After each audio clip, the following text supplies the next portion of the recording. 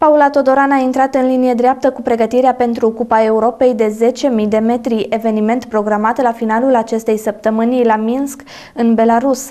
Pentru atleta zălăoană va fi a doua prezență în carieră la un astfel de eveniment.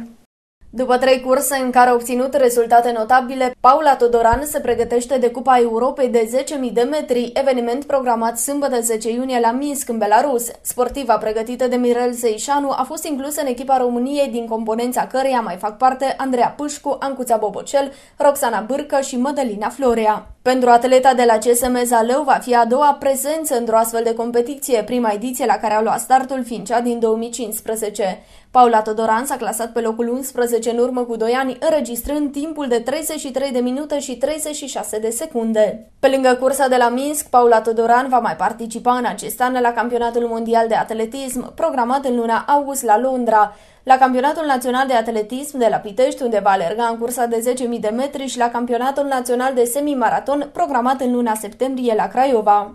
Maratonul de la Hamburg, crossul Gabriela Sabo și semimaratonul internațional al Bucureștiului sunt cursele în care a luat startul Paula Todoran în acest an. La Hamburg, sportiva de la CSM Zalău s-a situat pe locul 14, realizând barem de calificare la campionatul mondial de la Londra.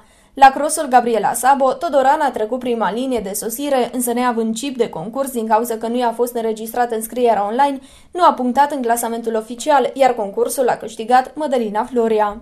Săptămâna trecută, la semi-maratonul internațional de la București, atleta zălăoană ocupa locul 7 în clasamentul internațional. S-a alcătuit și un clasament național în care nu au mai fost incluse româncele clasate între primele șase locuri în cursa internațională, Paula Todoran ocupând prima poziție în acest clasament.